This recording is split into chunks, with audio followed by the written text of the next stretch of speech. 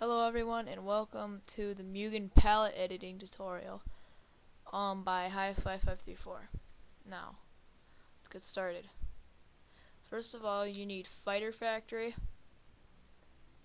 Um, let's open that up there. And you need a character that you want to change the palette on.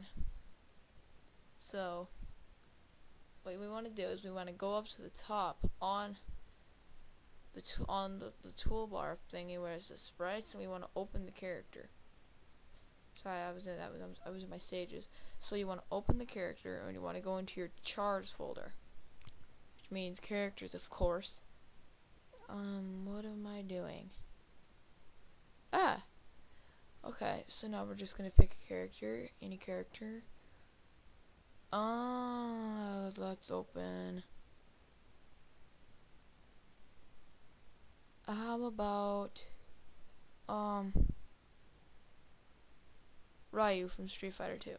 So now I need to find a def file, his def file, and Ryu sucks because I can't find anything with him. Ah, here we are. Now, you want to find their basic stance formation, their stance sprite. In this case, it would be that. So now what we want to do is we need to open the palette for that character, but zoom all the way in so you can get a pretty good pixelated image open the the the act file that you want and oh crap what did I do that for? Um let's just open that again. So now there is his complete palette all the colors that he has. Now you want to click now you want to get the eyedropper tool and you want to click any color on it.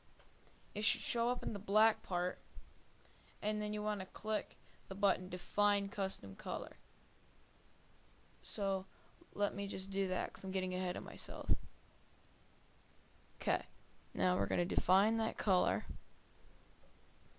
Okay, so now you want to move that little cross thing, any color on there, and then you want to adjust its brightness. So let's make him yellow. Then you got to click add to custom colors. Press OK. Then you want to click the view image using this palette button. And lo and behold, now he's yellow. Okay. Now I'm going to move him to green. And you got to remember to click add to custom colors. Do that. Wow, he's green. Well, somewhat green. Um, now let's do this one more time. Let's do a red. Well, Okay, I'm really getting ahead of here. Okay, now we're going to do a blue. Click add to custom colors.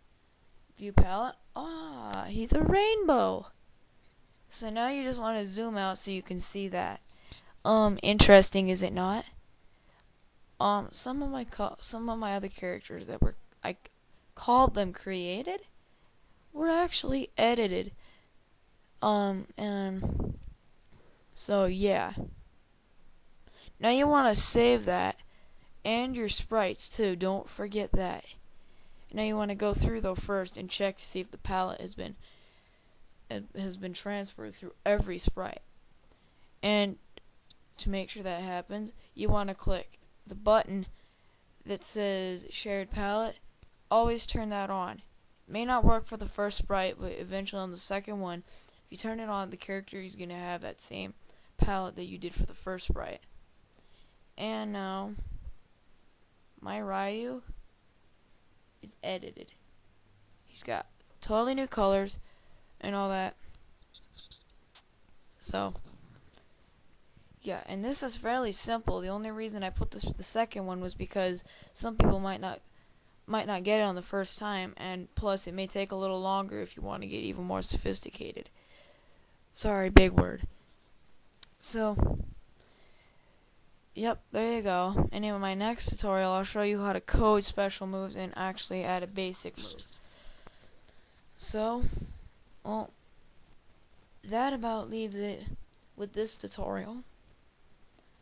Um, so, yeah, have fun making your own characters or creating an illusion of that. And, yeah, see you in the next tutorial.